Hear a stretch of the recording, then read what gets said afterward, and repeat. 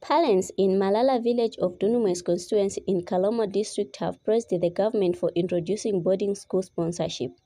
The sponsorship is done through the 2022 Constituency Development Fund, where vulnerable children apply to have their boarding fee paid for by the local authority. Representing his subject, Headman Malala Albert Munenga explains that his area has four community schools and children are going to secondary schools in town where parents need to pay.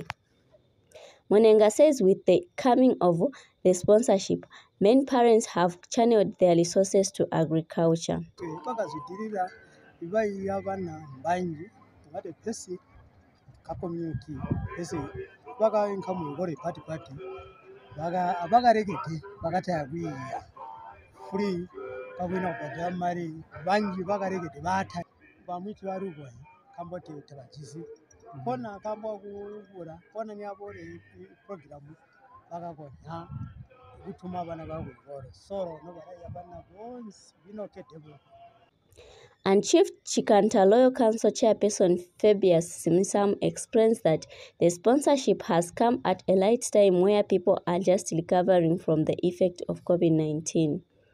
The traditional leader says the program has seen a number of girls getting back to school. kubana bahunga ku mabonesi for free. Bangi bagahunguka kamba bamwe kuti baruya so kumene nyaka pa muzenzi wangu free education bagainka vana varaiya through bursary. Bona kuti na vana vaiya kuti ndorosumpuku vanohita kuchita muntu uyiite tairani handisvino toembera vongombe tovasi vapo kuti iro sumpoko roraya kumbere maningi even mumizi muno mutu achisivana vakuti asika grade 9 ware vavona mari vamageti 10 11 12 and kaloma Council Chairperson Koimaka explains that the number of learners who have gone back to school has increased in the district. Maka explains the program has helped to fight teen marriages.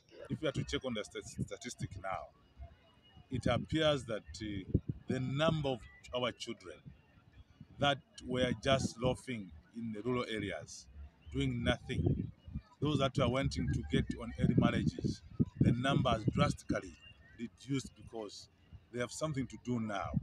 The parents are able to force their children to go to school so that they earn a living in future, and which idea is supporting our country in future to have well-learned children that will help us to do better. With the increase of CDF in the 2023 budget, parents are expecting to see an increased number of learners to be admitted. Delia Siandula reporting for Speak Up Youth Project and Voice of Kalomo in Malala Village, Kalomo District.